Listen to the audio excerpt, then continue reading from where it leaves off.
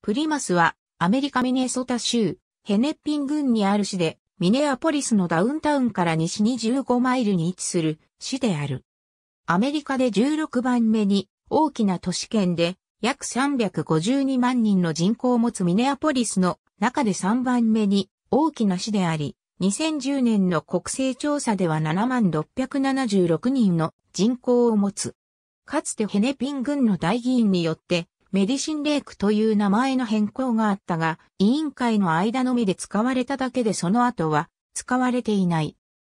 プリマスがある場所は先コロンブス期である1400年代から1500年代頃まで遡ることができ、数族の氏族であるダコダ族がメディシンレイクの北側で居住していた。メディシンレイクの名前の由来は、ダコタ族のマドゥコンチンから来ており、精神の湖という意味で、ダコダ族のある選手がカヌーで湖で転覆してしまい意外が見つからなかったことに由来する。この地を最初に開拓したのがアントワーヌ・ルカウントで、1848年に同地には着いたが1852年までは開拓はせず、レッド川流域から手紙やネイティブアメリカンとの馬の交易品を運んだ。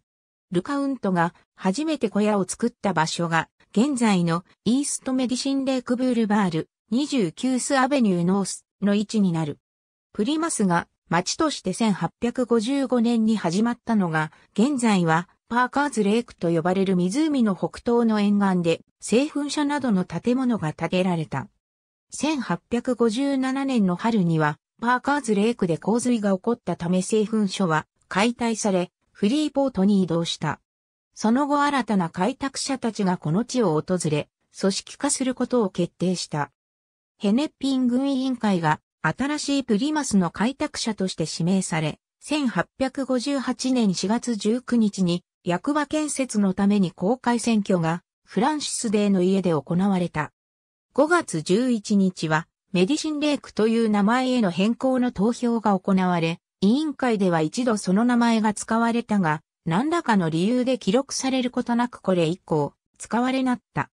1862年にニューウルム近くのフォート、リッチリーにて、白人開拓者とダコダ族とのダコタ戦争の間、プリマスの開拓者たちは民兵を編成した。南北戦争が開戦した際には、プリマスから志願兵たちに25ドルが支給された。この頃にはプリマスも繁栄し始め新たな局面を迎えていた。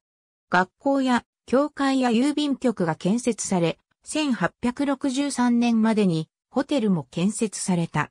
南北戦争の後の1880年までにプリモスはさらなる変革が起こり、人口が1074人に増加し、年間の税収が667ドルになった。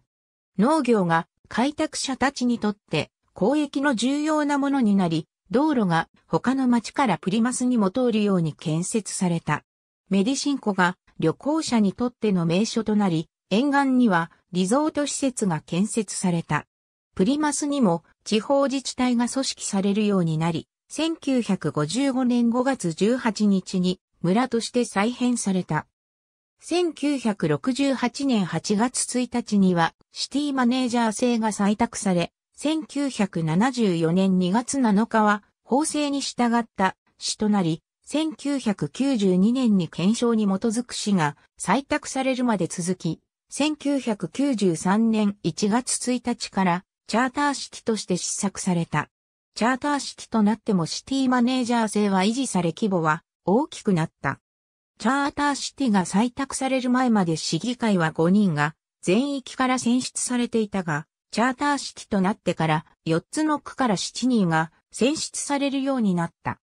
プリマスは2008年に雑誌マネーマガジンによって居住区、産業、公園、学校、自給自足、自立などを加味してアメリカで一番の街に選ばれた。アメリカ合衆国国勢調査局によると、プリマスの総面積は35.33ミで32.68、身が陸地で2.65ミが水域である。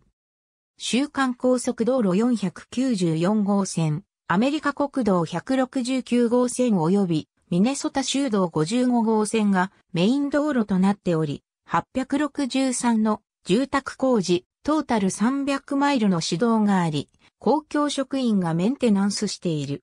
プリマスはアメリカ中西部の典型的な気候の湿潤大陸性気候で厳しい冬の寒さがありながら、夏は暑くしばしば高湿度になる。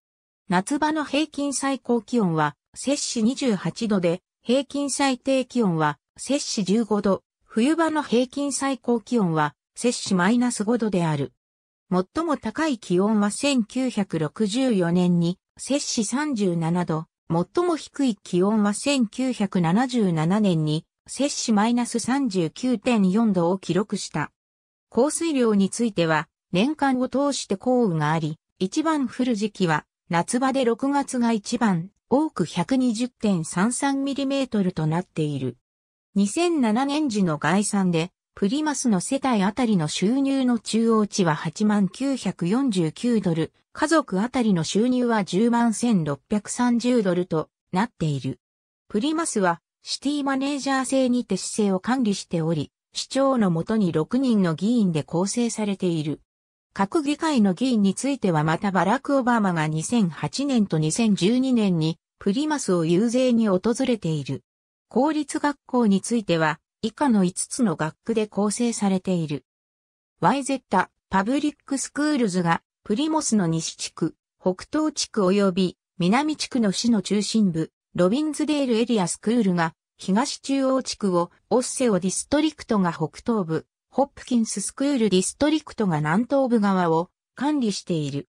また生徒によってはミネソタ州の入学に関する法律に基づき学区以外の公立学校を通うことも可能である。YZ ハイスクールは約3500人の9から12年生の生徒が通うミネソタで2番目に大きな高校である。2012から2013年度の在校生は入学者は3617名だった。